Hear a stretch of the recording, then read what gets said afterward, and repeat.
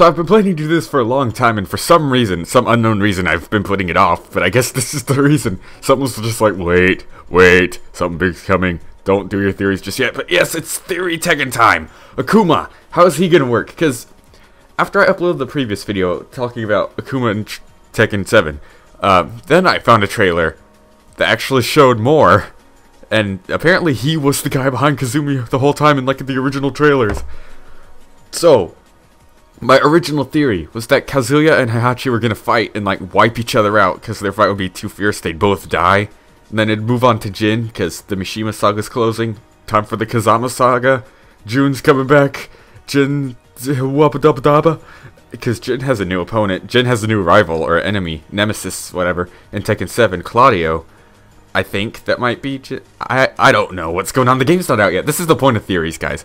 But my Akuma theory is in the trailer, Kazumi asked Akuma to kill Heihachi and Kazuya.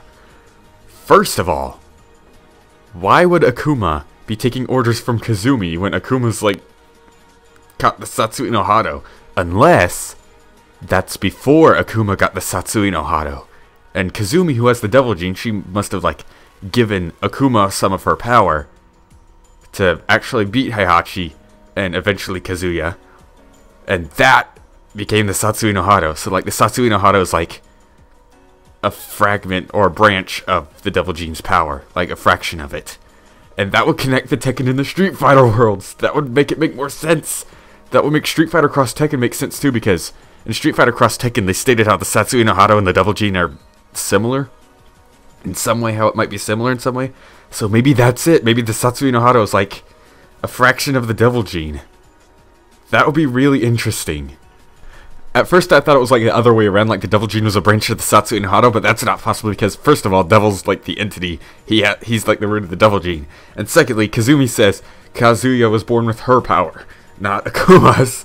So, so yeah, that would make sense. So, the Satsui no Hado is a branch of the Devil Gene. So, what I think is going to happen, I think Heihachi and Kazuya are going to fight, and then Akuma's going to step in and kill Heihachi, like K Kazumi asked him to. And then Kazuya, he's gonna go after Kazuya.